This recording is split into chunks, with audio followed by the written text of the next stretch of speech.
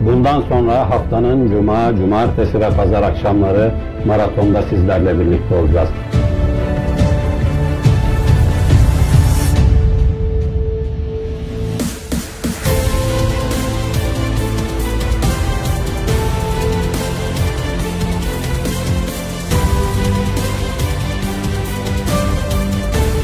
İddialar var pozisyonlarla ilgili. Biz kendi görüşlerimizi aktaracağız.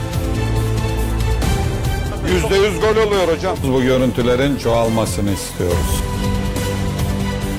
Eski adıyla Türkiye 1. Futbol Ligi, yeni adıyla Süper Lig bugün başlıyor. Futbola verdiğimiz değeri de her zaman ön planda tutarak programları yapmaya çalıştık. Her şey çok daha iyi olacak.